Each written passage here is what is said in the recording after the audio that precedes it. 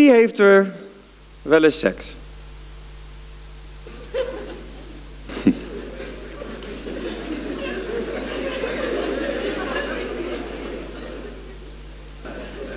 Wie praat er dagelijks over seks? Met vrienden, met familie en collega's.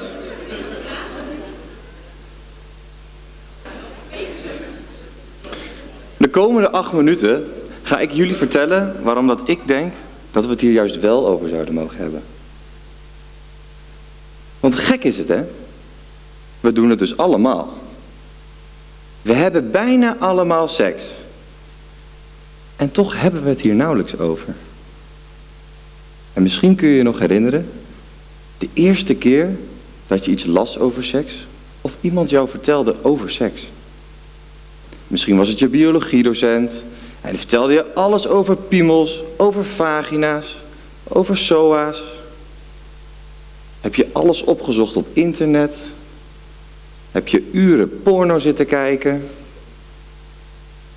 Of je ontmoette zo'n gast met dezelfde baan als ik, die jou alles vertelde over seks. Nee, ik ben geen barman. Voor mijn werk geef ik voorlichtingen over seks. Aan jongeren en voornamelijk op scholen. Ik vertel jongeren over de basis van seks, maar ook hoe je seks nog leuker kan maken.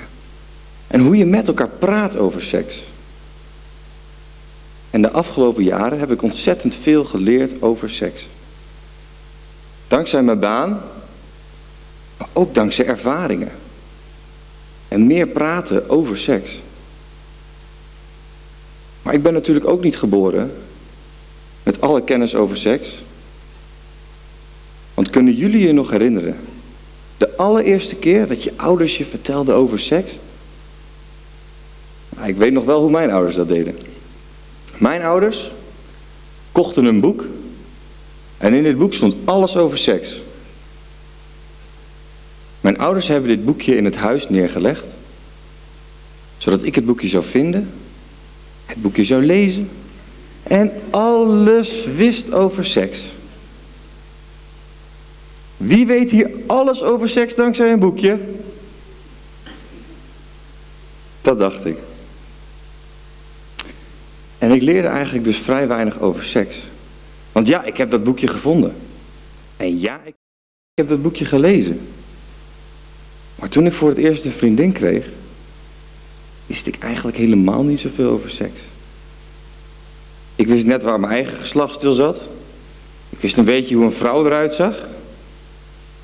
Maar hoe maak je seks dan lekkerder? Hoe maak je het leuk?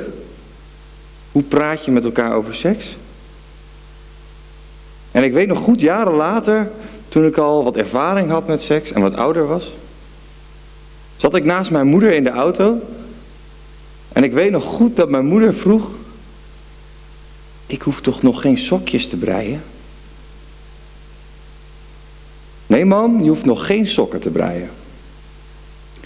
En gek genoeg was dit de eerste en laatste keer dat ik met een van mijn ouders sprak over mijn seksleven.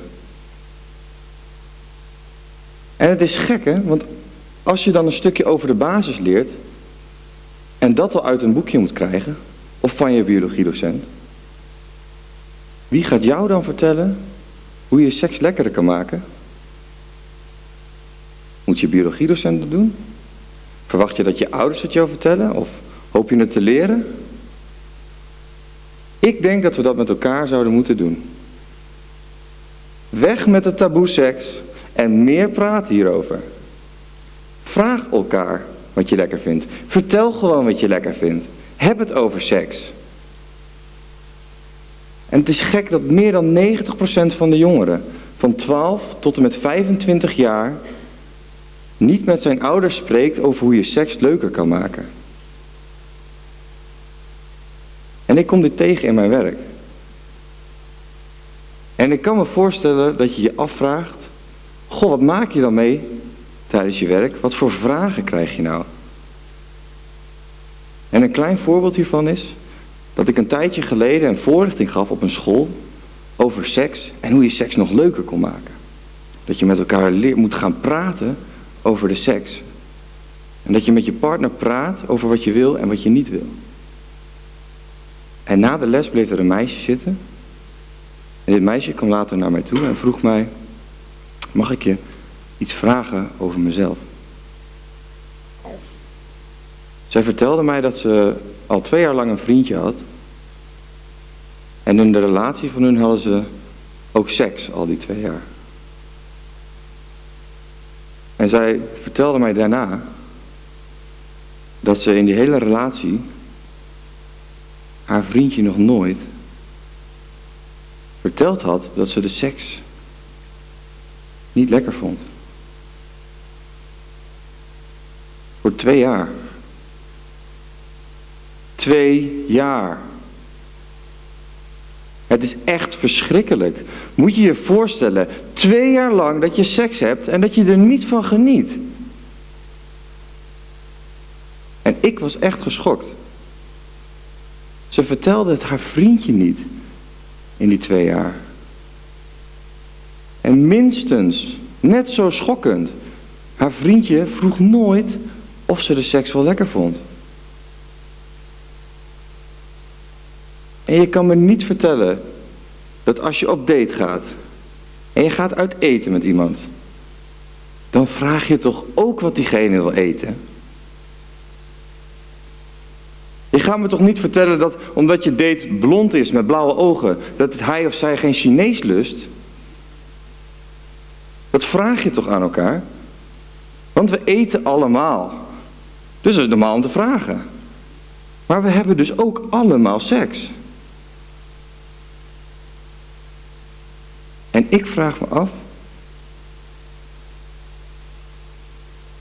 Vertel je vaak aan je partner wat je nou echt lekker vindt. Vraag je daadwerkelijk aan je partner of hij of zij genoten heeft van de seks? Ik denk dat de meesten van ons dat niet doen. En ik wil dat dat verandert. Ik wil dat dat vandaag verandert. Dat gaan we ook nu doen. Dus maak even twee of drietallen.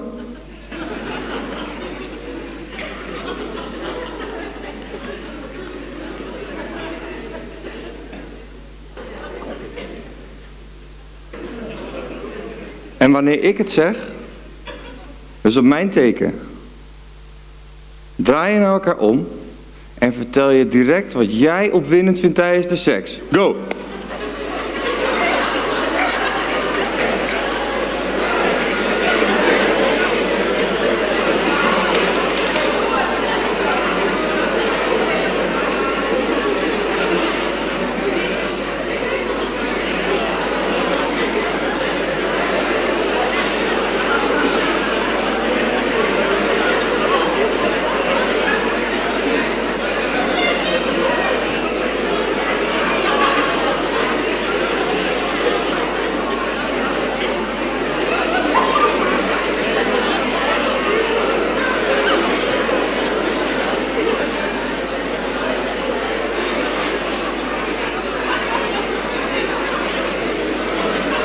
Oké.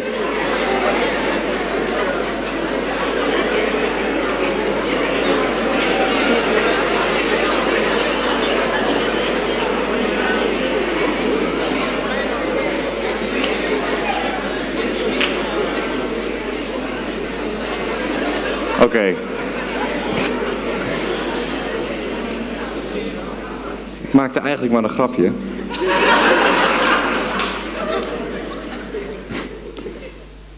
Nou, dat was wel even pittig, of niet? Gek is dat, hè? Dan moet je elkaar ineens gaan vertellen wat je lekker vindt. En dat is precies wat we zouden moeten doen.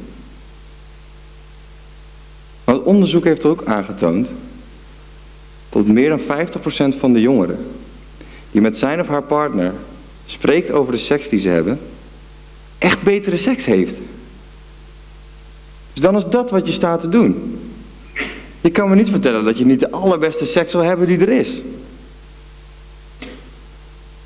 Dus vertel elkaar gewoon wat je lekker vindt. Het is geen taboe. We doen het allemaal. Vraag je partner ook gewoon hierover. En ik hoop dat we vanaf nu zoveel hierover praten. En dat we allemaal zulke goede, fijne, lekkere seks hebben. Dat ik nooit meer les hierover hoef te geven. Dank jullie wel.